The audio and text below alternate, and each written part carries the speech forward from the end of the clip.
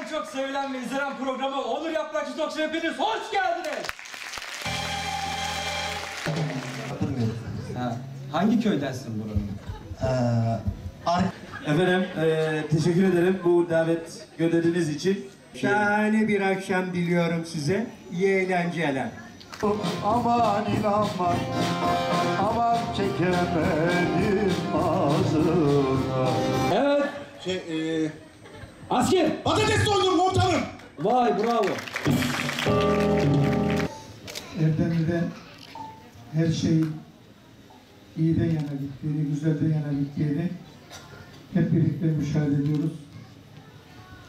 Gönlümüz isterdi ki bu güzel programda daha neşeli şen şakrak geçirelim arzu ederdik ya da bu şekilde bitirelim arzu ederdik ama maalesef bu ülkenin birliğine sekte vurmak isteyenler, bu ülkenin birliğine sekte vurmak durmak isteyenler, bu ülkenin gelişmesine, bu ülkenin muasır medeniyetler seviyesinin üzerine çıkmasını istemeyen hain eller, emperyalist güçler maalesef beş tane gencecik Mehmetçiğimize kıydılar.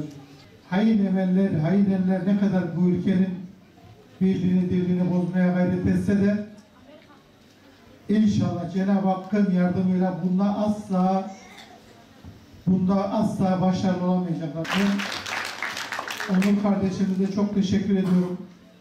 Ekibine çok teşekkür ediyorum. Artık Mersin'de böyle bir hemşehrimizin TRT'de program yapıyor olması, İstanbul'un en güzel mekanlarında program yapıyor olması, bizim hemşehrimiz olması münasebetiyle de bizim için çok önemli ve çok ciddi bir gurur vesilesi inşallah.